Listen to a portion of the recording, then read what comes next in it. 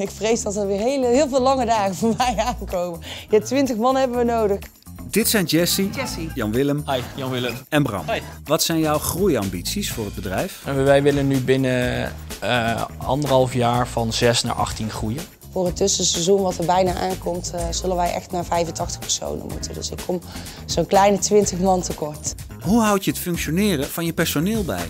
Dat doen wij met periodieke voortgangsgesprekken. We hebben eh, zeker één keer per jaar, eh, en als het even kan, twee keer per jaar echt een gesprek waar we de, de groeidoelen met iedereen gaan bespreken. Wat wil je bereiken? Wat wil je nog leren? Waar moet je je ontwikkelen? Dat zijn gewoon wel belangrijke vragen om te stellen. Want uiteindelijk, als de medewerker blij is, levert hij uiteindelijk ook meer op voor de werkgever.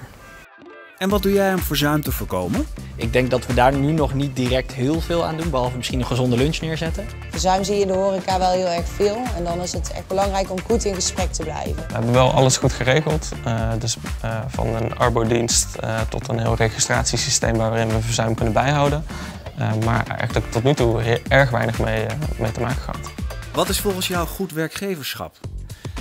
Gevaarlijke vraag. Goed werkgeverschap, ja, dat is, dat is lastig. Dat is eigenlijk altijd een balans zoeken. Zorgen dat je eh, met rust je personeel blijft benaderen, wat niet altijd makkelijk is in de horeca. Ik denk dat goed werkgeverschap vooral zit in eh, een stukje mee kunnen denken met je personeel. Groeien met personeel? Kijk op kvk.nl slash groeien met personeel.